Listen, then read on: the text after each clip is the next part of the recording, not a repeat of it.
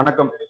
நான் உங்கள் குபேர ஜோதிடர். இன்னைக்கு நம்ம காணொலியில் என்ன பார்க்க போறோம் அப்படின்னா குரு பயிற்சி சிம்ம ராசிக்கு குரு பயிற்சி அதாவது தனுசு ராசியிலிருந்து மகர ராசிக்கு நவம்பர் பதினஞ்சாம் தேதி ரெண்டாயிரத்தி இருபது நவம்பர் பதினஞ்சாம் தேதி குரு பயிற்சி ஆகிறார்.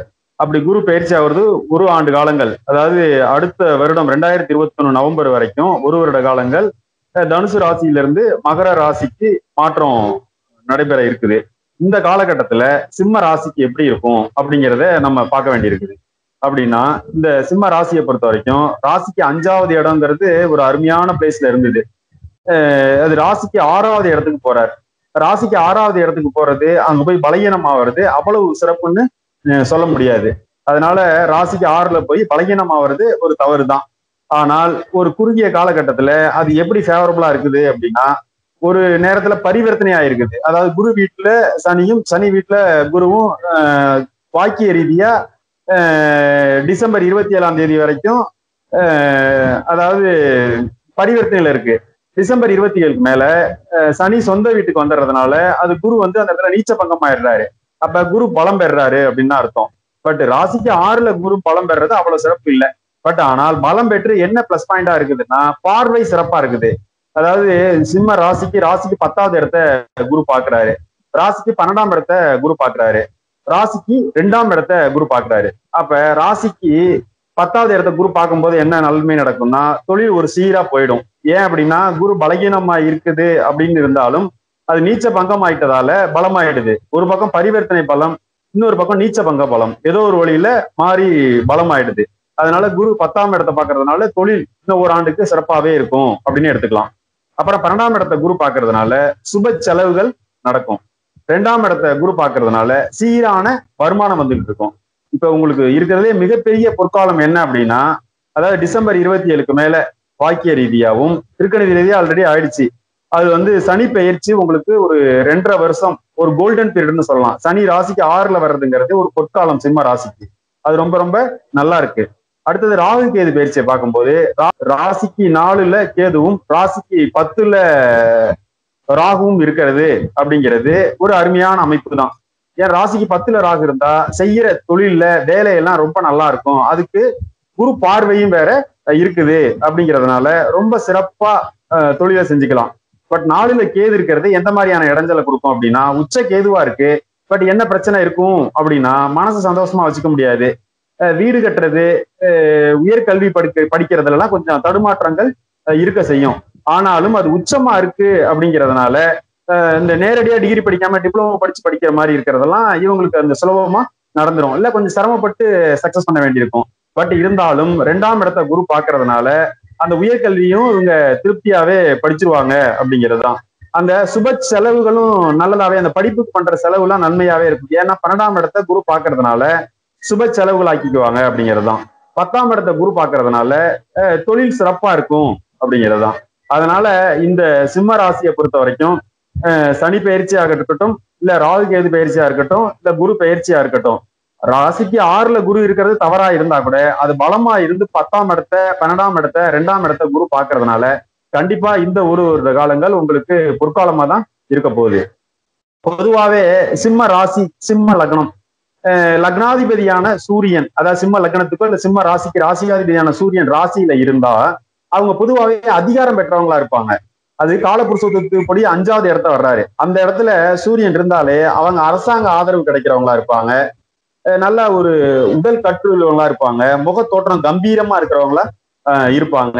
தைரியம் வீரம் மிக்கவங்களா அவங்க இருக்கிறதுக்கான வாய்ப்புகள் இருக்குது அப்படிங்கிறது தான் அதனால லக்னாதிபதியாவோ இல்ல மேச ராசியாதிபதி அதாவது சிம்ம ராசிக்கு அதிபதியான சூரியன் அதுலயே இருந்ததுன்னா அவங்க கம்பீரத்துக்கு கௌரவத்துக்கு எல்லாம் நல்லா இருப்பாங்க கௌரவமாலாம் வாழ்வாங்க அப்படிங்கிறது தான் ஒருவேளை அதாவது கண்ணியில சூரியன் இருந்தால் கண்ணியில இருந்ததுன்னா சூரியன் இருந்தா என்ன மாதிரினா ஸ்பெக்ஸ் போட்டுக்கிறதுக்கு வாய்ப்பு இருக்கும். அதாவது கண்ணாடி போட்டுக்கிறதுக்கு ரெண்டாம் இடத்துல லக்னத்துக்கோ ராசிக்கோ யாராவது ரெண்டாவது இடத்துல சூரியன் இருந்ததுன்னா அவங்களுக்கு இயல்பாவே ஸ்பெக்ஸ் போட்டுக்கிறதுக்கு கண்ணாடி போட்டுக்கிறதுக்கு வாய்ப்பு இருக்கும்.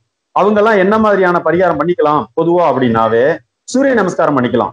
பச்சை அரிசியும் வெள்ளமும் கலந்து எறும்புக்கு வைக்கலாம். இதெல்லாம் பண்ணும்போது யாருடைய ஜாதகத்திலயா இருந்தாலும் சரி அது லக்னத்துக்கு ரெண்டாம் இடத்துல இருந்தாலும் சரி ராசிக்கு ரெண்டாவது இடத்துல இருந்தாலும் சரி சூரியன் ரெண்டுல இருந்தால் நம்ம இப்ப சொல்றது சிம்ம ராசிக்கு அதாவது கண்ணில சூரியன் இருந்தால் அவங்க வந்து பிரதோஷ வழிபாடு பண்றது வில்வ இலை பிரதோஷ நெய் கொடுக்கறது பச்சரிசியும் வெள்ளமும் கலந்து எறும்புக்கு வைக்கிறது இதெல்லாம் சூரியன் ரெண்டுல இருந்தா பரிகாரம் பண்ணா அந்த பரிகாரம் எடுக்கும் அப்படிங்கிறது தான் அடுத்ததா பார்த்தோம்னா அஹ் லக்னாதிபதியான சூரியனோ இல்ல ராசியாதிபதியான சூரியனோ துலாம்ல விருச்சக அதாவது துலாம்ல பலகீனமாக இருந்தால் அஹ் அப்ப என்ன நடக்கும் அப்படின்னா அஹ் உடல் ஆரோக்கியத்துல கொஞ்சம் பாதிப்பு இருக்கும்.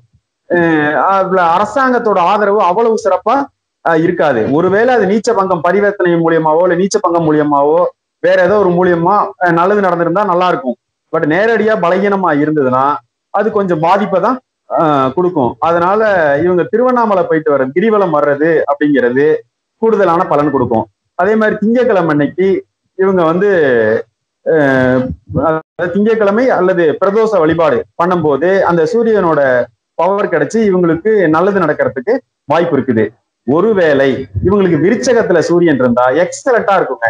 ஏன்னா கார்த்திகை மாசத்துல பிறக்கிறவங்களுக்கு விருச்சகத்துல சூரியன் இருக்கிறவங்களுக்கு அவங்களுக்கு எந்த லக்னமா இருந்தாலும் சரி எந்த ராசியா இருந்தாலும் சரி விருச்சகத்துல சூரியன் இருந்தா அவங்களுக்கு வந்து ஒரு பொற்காலம் தான் சொல்லலாம். அது ஜாதகத்துல விருச்சகத்துல இருந்தாலே அவங்களுக்கு நல்லது நடக்கும் அப்படிங்கிறது தான் அதாவது தனுசுல சூரியன் இருந்தால் லக்னத்துக்கு இல்ல ராசிக்கு அஞ்சாவது இடத்துல சூரியன் இருக்கும்போது அஹ் காலபுருஷத்துக்கு ஒன்பதாவது இடமா வர்றாரு. பொதுவா குருவோட மனையில சூரியன் இருக்கிறது அப்படிங்கிறது நல்ல அமைப்பை தான் கொடுக்கும். அது வந்து எப்ப வரும் அப்படின்னா மார்கழி மாதத்துல வரும். நம்ம மாதங்களில் மார்கழின்னு சொல்ற மாதிரி அந்த சூரியன் வந்து தனுசுல இருக்கிறவங்களுக்கு மிகச் சிறப்பா இருக்குது. அஹ் ரொம்ப அவங்களுக்கு புண்ணியத்தை கொடுக்குது. தந்தையோட சப்போர்ட் கிடைக்குது. அரசாங்கத்து மூலியமா ஆதரவு கிடைக்குது அப்படின்னு எடுத்துக்கலாம். அது பர்டிகுலரா சூரியன் சூரியனோட சொந்த நட்சத்திர காலில் இருக்கும்போது கூடுதலாவே அவங்களுக்கு வலிமை பெறுறாங்க. நான் நிறைய ஜாதகத்துல பார்த்திருக்கும் போது சூரியன் சொந்த நட்சத்திர காலில் இருந்து அது லக்னத்துக்கு ஒரு ராசிக்கு அஞ்சாவது இடத்துல தனுசுல இருக்கும்போது நிறைய அதிகாரத்துல இருக்கிறவங்க ஒரு ஐஏஎஸ்ஆ இருக்கிறவங்க ஒரு ஐபிஎஸ்ஆ இருக்கிறவங்க இல்ல அதிகாரம் பெற்ற இடத்துல இருக்கிறவங்க இவங்க எல்லாம் பாத்தீங்கன்னா இந்த லக்னத்துக்கோ ராசிக்கோ அஞ்சாவது இடத்துல சூரியன். அதாவது சிம்ம லக்னத்துக்கு சிம்ம ராசிக்கு அஞ்சாவது இடத்துல சூரியன் சூரியனோட நட்சத்திர கால்ல இருந்து குருவோட மனையில குருவோட பார்வையெல்லாம் இருந்ததுன்னா ஏன்னா ராஜ கிரகங்கள் மூணு. ஒன்னு செவ்வாய் இன்னொன்னு சூரியன் இன்னொன்னு குரு. சூரியன் வந்து குருவோட மனையில இருந்து குருவோட பார்வையிலலாம் இருந்ததுன்னா அவங்களுக்கு அது கூடுதலான பலனாவே வேலை செய்ய ஆரம்பிச்சிருது அப்படிங்கிறது தான் அதனால அவங்களுக்குலாம் ரொம்ப இயற்கையாவே ரொம்ப ஈஸியா அதாவது இவங்கெல்லாம் இந்த சர்வீஸ்க்கு படிக்கிறது இந்த ஐஏஎஸ் ஐஎஃப்எஸ் ஐபிஎஸ் படிக்கிற இதுக்கெல்லாம் படிக்கிறதுக்கு சூரியன் வந்து தனுசுல இருந்தது சொந்த நட்சத்திர காலெல்லாம் இருந்து குரு பார்வையெல்லாம் இருந்ததுன்னா அவங்க ரொம்ப எளிமையா வெற்றி பெற்றுடுவாங்க அப்படின்னு அர்த்தம். இவங்களுக்கு பரிகாரமே சூரிய நமஸ்காரம் பண்ணிக்கிட்டாலே போதும் அப்படிங்கிறது தான் அதாவது அடுத்தது லக்னத்துக்கு ஆறுல இல்ல ராசிக்கு ஆறுல மகர ரா ராசியில சூரியன் இருந்தால் அதாவது சிம்ம ராசிக்கு இல்ல சிம்ம லக்னத்துக்குடைய சூரியன் மகர ராசியில ஆறாவது இடத்துல அஹ் இருந்தால் போராடி தான் ஜெயிக்கணும். ஆனா அது என்ன பிளஸ் பாயிண்ட் இருக்குது அப்படின்னா சூரியன் சொந்த நட்சத்திர காலில் இருந்தா போராடினா கூட வெற்றி பெறாங்க. பொதுவாகவே சூரியன் ஆறுல இருந்ததுன்னா அவங்க போராடினாலும் அவங்க ஜெயிச்சிடுறாங்க அப்படிங்கிறது தான் அவங்க சார் கடுமையான சர்வீஸ் கொடுக்க வேண்டிய சூழல்ல இருப்பாங்க. கடுமையா உழைப்பாங்க. ஆனா பின் யோகரா இருக்கிறாங்க. நான் நிறைய பேர்த்து ஜாதகத்துல பாத்திருக்கிறேன் அவங்க சிம்ம லக்னமாகவோ சிம்ம ராசியாவோ இருந்து மகரத்துல சூரியன் இருந்து அது சு- உத்திராடம் சூரியனோட நட்சத்திர காலில் இருக்கிறவங்க எல்லாம் ரொம்ப வலிமை பெற்றவங்களா இருக்கிறாங்க.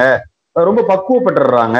அவங்க போராடி வெற்றி பெறாங்க அப்படிங்கிறது தான் அதனால அவங்க ஜெயிச்சுக்கிறவங்களா தான் இருக்கிறாங்க அப்படிங்கிறது தான் இதே சிம்ம ராசி சிம்ம லக்னமாக இருந்து அஹ் லக்னத்துக்கோ இல்ல ராசிக்கோ ஏழாவது இடத்துல கும்பத்துல சூரியன் இருந்தால் அது குருவோட நட்சத்திர காலில் இருக்கிறாருன்னு வச்சுக்கோங்களேன். அப்ப குரு பார்வையில இருக்காரு? இல்ல குருவோட நட்சத்திர காலில் பூரட்டாதி நட்சத்திர கால்லாம் இருந்தாங்கன்னா அவங்க வெற்றி ரொம்ப எளிமையா அவங்களுக்கு கிடைச்சிட்டுருங்க ஆனா மகரம் மகரமும் கும்பமும் சிம்மத்துக்கு பகைன்னு சொன்னா கூட அது நட்ச- இருக்கிற நட்சத்திர காலில் பொறுத்து வித்தியாசப்படுது. அதனால பூரட்டாதி குருவோட நட்சத்திர காலில் இருந்தாலும் அவிட்டம் செவ்வாயோட நட்சத்திர காலில் இருந்தாலும் ஏன்னா சிம்ம லக்னத்துக்கும் சிம்ம ராசிக்கும் செவ்வாய் முதல் தர முழு யோகரா வந்துடுறாரு. அவர் நாலுக்கு ஒன்பதுக்கு அதிபதியா வந்துடுறாரு. அதனால செவ்வாயோட நட்சத்திர காலில் இருந்தாலும் சரி இல்ல பூரட்டாதி குருவோட நட்சத்திர காலில் இருந்தாலும் அவரு அது முதல் தர முழு யோகரா அமைஞ்சுக்கிறாரு. அதனால ராசிக்கு ஏழுல இருந்து நேரடியா ராசியை பாத்துடுறாரு லக்னத்தை பாத்துடுறாரு அப்படி பாக்குறதுங்கிறது அவங்க எளிதில் வெற்றி கிடைக்குங்கிறதுல ஒன்றும் மாற்றம் கிடையாது. சிம்ம லக்னத்துக்கு எட்டாவது இடத்துல அதாவது மீனத்துல சூரியன் இருந்தால் சிம்ம லக்னத்துக்கோ சிம்ம ராசிக்கோ ராசிக்கு எட்டாவது இடத்துல சூரியன் இருந்தா கொஞ்சம் போராடி தான் ஜெயிக்க வேண்டியிருக்கு. ஆனாலும் போராடினாலும் வெற்றி பெறலாமா அப்படின்னா வெற்றி பெறலாம். ஏன் வெற்றி பெறலாம் அப்படின்னா அது குருவோட மனையில இருக்குங்கிறதுனால வெற்றி பெறலாம். இருந்தாலும் மிகப்பெரிய போராட்டத்தை சந்தி சந்திச்சு தான் அவங்க ஜெயிக்க வேண்டிய சூழல்ல இருக்கிறாங்க. இந்த மாதிரி சிம்ம லக்னத்துக்கு இல்ல சிம்ம ராசிக்கு ராசியாதிபதியானவர் லக்னாதிபதியான சூரியன் வந்து எட்டாவது இடத்துல இருந்தால் அவங்கெல்லாம் பிரதோஷ வழிபாடு பண்றது வில்வ இலை வாங்கி சிவனுக்கு கொடுக்கறது ருத்ர அபிஷேகம் பார்க்கறது இல்லை இல்ல ருத்ர அபிஷேகத்துல கலந்துக்கிறது இல்ல அவங்களே ருத்ர அபிஷேகம் பண்ணிக்கிறது இது மாதிரி எல்லாம் பண்ணிக்கும் போது அவங்களுக்கு அந்த தாக்கத்துல இருந்து வெளியில வந்துடுறாங்க அப்படிங்கிறது தான். ஒருவேளை சிம்ம லக்னத்துக்கு சிம்ம ராசிக்கு அதிபதியான சூரியன் மேஷத்துல இருந்தால் அவங்க கொடி கட்டி பறக்குறாங்க. ரொம்ப நல்லா இருக்காங்க. அரசாங்கத்துல ஆதரவு கிடைக்குது. அரசாங்கத்துல அவார்டு கிடைக்குது. சிறந்த விளையாட்டு வீரரா வர்றாங்க. அதிகாரியால அதிகாரி நல்ல அதிகாரியா இருக்கிறாங்க. நல்ல பேர் புகழ்லாம் வாங்குறாங்க அப்படிங்கிறது தான் இது கூடுதலான பலன் என்னன்னா அங்க கார்த்திகை சூரியன் சொந்த நட்சத்திர காலில் இருந்ததுன்னா இன்னும் கூடுதலான பலனாவே அது நடக்க ஆரம்பிச்சிருது அப்படிங்கிறது தான் அதனால எளிமையான வெற்றி ரொம்ப அதை நற்பெயரும் வாங்கிக்கிறாங்க. பேரு புகழோட இருக்கிறாங்க. அரசாங்கத்தால ஆதரவும் கிடைக்குது. மற்றவங்களுக்கும் நல்லது செய்யறாங்க அப்படிங்கிறது தான் அதனால சி- மேஷத்துல இருந்தாவே அவங்க ஒரு பொற்காலம் தான் அதை சொல்லலாம். அவங்க ஜாதகமே ஒரு சிறந்த ஜாதகம்னு எடுத்துக்கலாம்.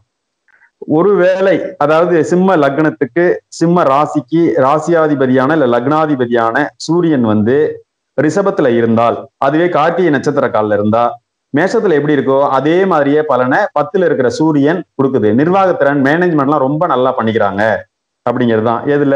ரிஷபத்துல சூரியன் இருந்தால். இதே பதினோராவது இடத்துல மிதுனத்துல சூரியன் இருக்குது. சிம்ம ராசிக்கு சிம்ம லக்னத்துக்கும் பதினோராவது இடத்துல இருக்கு. எடுக்கிற காரியத்துல எளிமையா வெற்றி பெற்றுக்கிறாங்க. பொதுவாகவே சூரியன்கிற கிரகம் பதினோராவது இடத்துல இருந்ததுன்னா அவங்களுக்கு வெற்றி நிச்சயம். அப்ப மிதுனங்கிறது புதனோட வீடா இருக்குது. அப்ப அந்த இடத்துல புதனும் சூரியனும் சேர்ந்து இருந்தா அந்த புதாத்தி யோகத்தோட இன்னும் கூடுதலான பலனே அவங்களுக்கு கிடைக்குது அப்படின்னு சொல்லலாம். கல்வியிலையும் வெற்றி பெறுறாங்க. பேரு புகழும் கிடைக்குது. அதிகாரமும் கிடைக்குது. அரசியல்லையும் ஈடுபடுறாங்க. அரசாங்கத்து மூலியமாவும் நல்லது நடக்குது அப்படின்னே அதை சொல்லலாம்.